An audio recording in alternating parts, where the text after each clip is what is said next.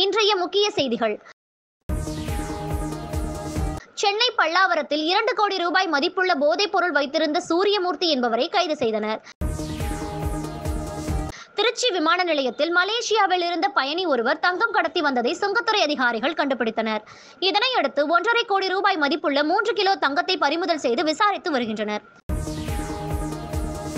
மத்திய பிரதேசத்தில் ரூபாய் முன்னூத்தி நாற்பது கோடி மதிப்பிலான ரொக்கம் மதுபானம் பறிமுதல் தேர்தல் பறக்கும் படையினர் அதிரடி. ஜார்க்கண்டில் திருமண நிகழ்ச்சிக்கு சென்று வந்த கார் மரத்தில் மோதி விபத்து ஐந்து பேர் உயிரிழப்பு.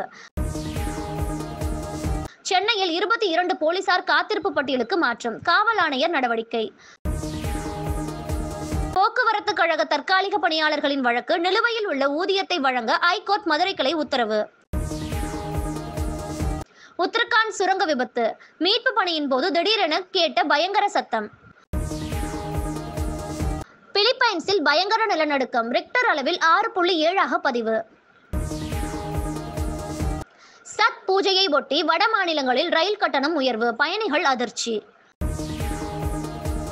புகைப்பழக்கத்தால் ஏற்படும் புற்றுநோயால் இந்தியா உட்பட ஏழு நாடுகளில் ஆண்டுக்கு பதிமூன்று லட்சம் பேர் உயிரிழப்பு. மருத்துவ ஆய்வில் தகவல்.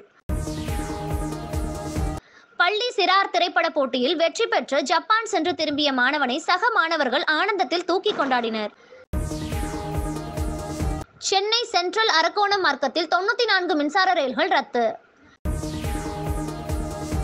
சென்னை அடுத்த குன்றத்தூரில் நேர்ந்த விபரீதம். அரசு பேருந்தில் தொங்கியபடி பயணம் செய்த பள்ளி மாணவனின் கால்கள் சக்கரங்களில் சிக்கி சிதைந்தன.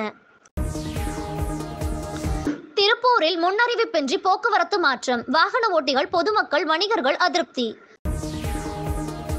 வெயிட்டிங் லிஸ்ட் பிரச்சனையை தீர்க்க ஐந்து ஆண்டுகளில் கூடுதலாக மூன்றாயிரம் ரயில்கள் மத்திய அரசு திட்டம்.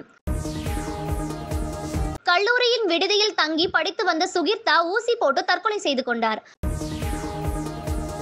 ஹரிஷ் பிரீத்தி இருவரும் நாகர்கோவில் உள்ள சிபிசிஐடி அலுவலகத்தில் விசாரணைக்கு ஆஜரானார்கள். நைட்ரஜன் வாயுவை முகர்ந்து பேராசிரியர் தற்கொலை. கைப்பட எழுதிய கடிதம் சிக்கியது. காட்டுப்பகுதியில் இளம்பெண் கற்பழித்து கொலை. மதுபோதையில் தாய்மாமனின் நண்பன் வெறிச்செயல். புதுக்கோட்டை மாவட்டம் கந்தர்வக்கோட்டை.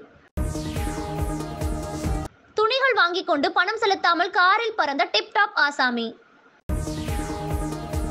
இயல்பு நிலை திரும்பியதால் ஐந்து நாட்களுக்கு பின் கடலுக்கு சென்ற ராமேஸ்வரம் மீனவர்கள். குண்டு காயங்களுடன் தப்பிய மாவோயிஸ்டுகள் ஆஸ்பத்திரியில் சந்தேக நபர்கள் சிகிச்சை பெற்றால் தகவல் தர உத்தரவு. சாட் ஜிபிடி சிஇஓ சாம் ஆல்ட்மேனை நீக்கியது ஒபெனை நிறுவனம். சேலத்தில் நகை சீட்டு நடத்தி நூறு கோடி ரூபாய் வரை மோசடி செய்த நகைக்கடை உரிமையாளர் மீது நடவடிக்கை எடுக்க கோரி பாதிக்கப்பட்டவர்கள் மாவட்ட ஆட்சியர் அலுவலகத்தை முற்றுகையிட்டனர்.